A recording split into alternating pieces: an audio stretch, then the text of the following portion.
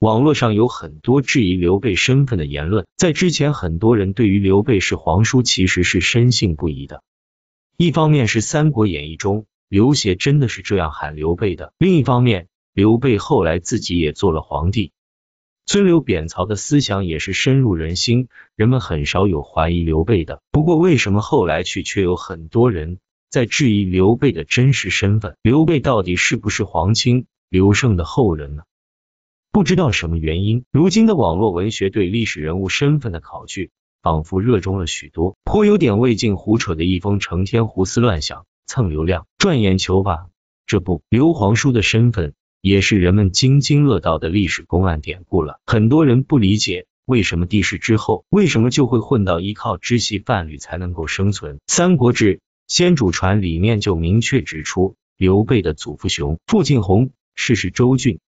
在那个强调血缘身份高于一切的年代，刘备的祖上是一定要将自己的身世纳入到家族谱系当中的。当时的官员制度是举孝廉或者是外戚，其实本质上大家都清楚，这些只不过是幌子。曹操这样的人物也是举孝廉的，人家从小飞鹰走狗、坑蒙拐骗，与孝廉搭不上边的，而外戚从来都是被人看不起的，比如何进这样的暴发户。令人奇怪的是。刘备家里虽说还没有到揭不开锅的程度，毕竟家境贫困，他的母亲居然责令其出去游学，不是普通的公办学校，而是当时非常有名的私立学府。主讲人是当时最著名的学者之一帝卢植，那可是与蔡邕、郑玄、管宁、华歆齐名的泰山北斗。刘备如果是毫无皇族血液的乡野村夫，是没有任何机会能够与公孙瓒这样的人。共同在卢植的学院里面修学的，因为按照当时的社会风尚，卢植这样的人物根本就不会招收下里巴人。看看后来孔融、曹操、袁绍、刘表、孙权、刘璋等等军阀对刘备的礼遇来看，他们都是冲着刘备的血缘身份来的，与刘备的长相、学识、武功没什么关系。在平定黄巾起义的初期，刘备起兵。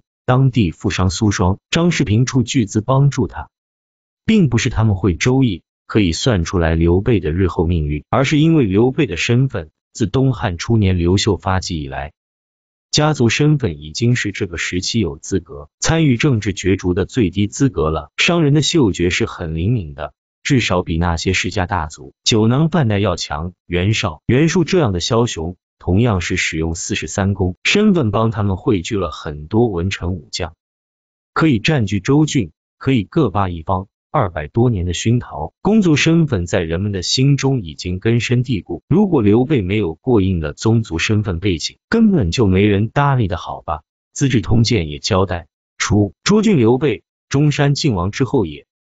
少孤平于母以范吕为业，《三国演义》里面的描写就更加戏剧化了。袁绍、袁术这样的世家大族，平时眼睛都长在头顶上的种类，听说刘备是宗亲身份，甭管是什么之属，便肃然起敬。这个不是装出来的，而是他们心里就有这样的认知。虽然他们兵强马壮，实力不菲，可是看到刘备、刘虞这样的没落皇族，还是要装出恭敬的模样的。事后他们也会派人打听的，有好事者一定会刨根问底。挖掘猛料，到处去打听个人隐私的这些军阀可不是糊里糊涂的听一面之词的糊涂蛋。因此说，当汉献帝听说刘备是宗主旁支，是有一定的渠道了解到刘备的真实身份的。虽然东汉末年朝政日坏，各地宗族的谱系文件，相信还是可以逐步汇总到许都的，而不是随口乱说。曹操是什么人？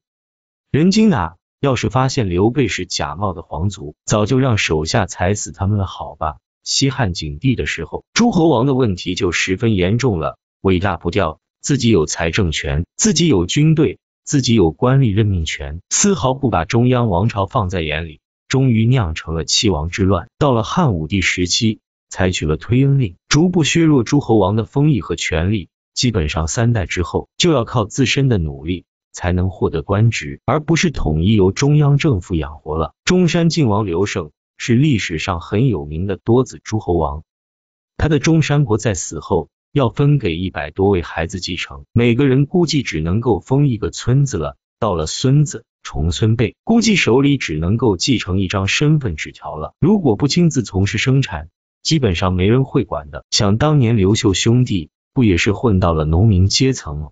不过汉朝政府对宗族还是有一定优惠政策的，比如太学、官学，对于皇族子弟基本上不需要入学考试就可以直接入学。当年的刘秀，后来的刘备，虽然都是社会底层，却天然具有入学资格。没办法，基因决定的。幸运的是，刘备有一个好母亲，眼光长远，愣是把刘备送到学校读书。这是几千年来良母的典范。一个好的母亲，不仅仅要让孩子吃饱，更重要的是让孩子获得锻炼的机会。